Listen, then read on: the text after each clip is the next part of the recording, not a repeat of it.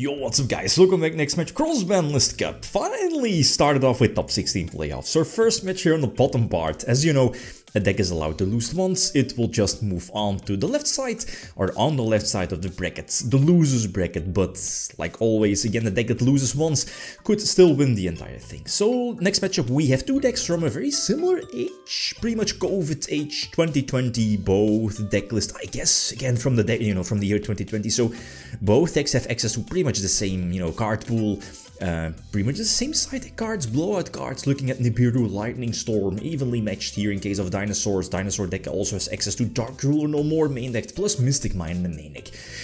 That could, could be very important, you'll be seeing it within the next couple of moments. While on the other end with Adamancipators, again, Prime Adamancipators, not a Buster Lock, but again, like such a strong deck as well.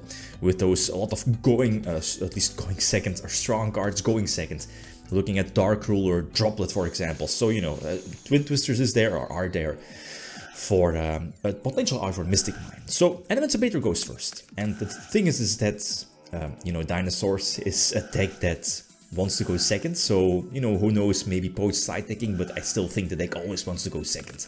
And we could capitalize on that. So I get Ashed. Um, this was an important Ash, but I think I somewhat got lucky with Talents. I think I drew two. Did I draw into Block Dragon? I think so. And that was kind of important. So I can, you know, go for Seeker. What is it? Um, Block Dragon again being live. So I can go for an Appaloosa. I think already went for Helki. Or am I going for Helki now? It could kind of make sense. I didn't see Linkross. Uh, okay, yeah, indeed. Didn't see Linkross, so that kind of makes sense. You go for Linkross for one token, and it opens up the Marcher play we know by now. Masquerena Marcher, because I needed some space, and of course, O-Line is going to give me level 3 token. And uh, what is it, Raptite? Raptite is now level uh, 6 tuner, so hopefully hitting Toki Toki, um, already used Block Dragon, so hitting the Toki was definitely nice to go for that level 8 Synchro play. Well, then again, I mean, here this could have been my level 8 Synchro play, but thing is, is that I think that the Dinosaur deck is mimicking Dark Ruler, right? Uh, so Dweller is one of those cards that uh, is a super blowout against a card like Dark Ruler. Uh, then again, Ruler, like is going to negate or could could negate the entire field except of course Dweller. So Dweller against dinosaurs is superb. Prevents the babies from searching, prevents I guess the deck from establishing its board and without Imperm and of course the Masquerena play, there is nothing that I could potentially negate a, a conductor, right? Like even though Dweller was active, a potential conductor would have uh, tiered through the entire board. But again, like with Block Dragon in Graveyard, you have so many follow-up plays and of course talent in hand. Like like next turn, I, am just going for a game with Access Code Talker, right? Like what happens here, you can just go for Access Code Talker and go for game. So game number two, and I go first. Um, that was kind of expected. Thing is, is that did I side in my uh, pointers? I can't remember. So I'm like, okay, well, we have to take into account a lot of those going second cards, looking at evenly matched, looking at Dark Ruler, and I think I just have to go for the same series of plays. Um, if you know, if I have the opportunity and and on Dweller again, again Dweller because it's so strong against a potential Dark Ruler. I do get um, Impermed, um, I guess this kind of forces out the Herald right, so that kind of makes sense. Um, already have like the Quakimeru Guardian for a potential nip, so I was like, yeah, let's just, uh, you know, like Tribute Herald. It's very similar or different uh, compared to Droplet, right? You can't use Droplet with Herald on field, right? If you discard mon ah, if you discard monsters, right? Um, but yeah, you know what I mean, right? With that situation. So Analyzer, I think, I think I um, connect with the level 4 that searches a Guardian from the deck so I can just establish pretty much the same board. Appaloosa is eventually going to hit the... Oh, now I see. Yeah, I think the biggest difference compared to game number one here is, is that I do have an Imperm. So let's say during the battle phase, I think I can eventually go for Dweller, yeah, so Savage for an, for an extra Omni negation, go for Block Dragon, Masquerena play for their turn, and go for Dweller. Yeah, that's that's strong, that's super strong. So in case of Dark Ruler here, um, all the monster effects are from, you know, from Graveyard are still negated, so no misc in graveyard, no babies, that's important. And kind of prevents dinosaurs from establishing their board even further. Thing though is that, ah, this is a situation I've talked about before. Sure, you could, you, you could go for conductor, but um, there is no conductor. I mean, you could have, oh, main phase 2.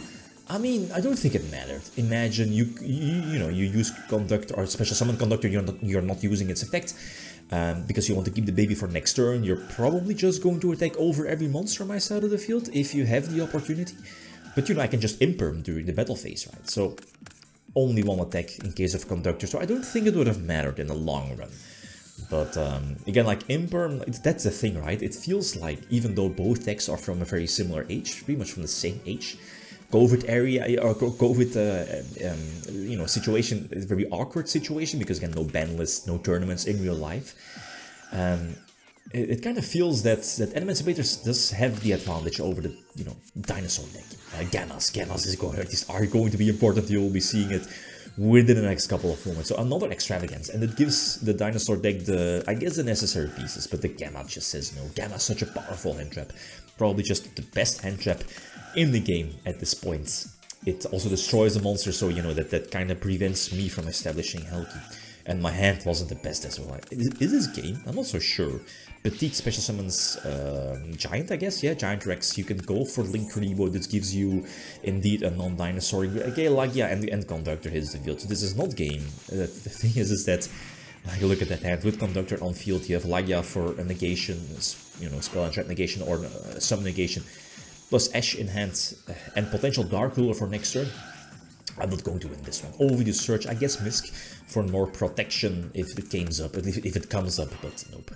So again, number 4, and I have the advantage of going second, and I, I think a side deck droplets, twin twisters for Mystic Mine.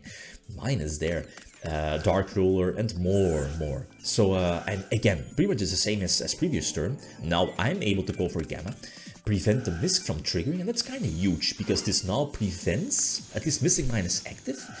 And I was like, okay, let's try maybe to force out stuff Imperm is activated, so I was like, okay, maybe I can just pause with Droplet set. I should be ready to go, right? I, should be relatively safe, especially because, again, I don't think there is a dinosaur, but imagine ah, deck Misk, yeah.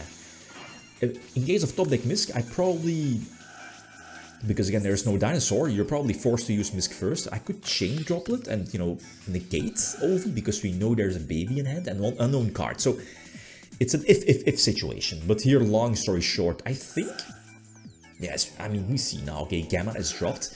And I think, do we know the hands? No, we know the baby, yeah, yeah. There's one unknown card. So I was like, I, this was my only series or line of plays.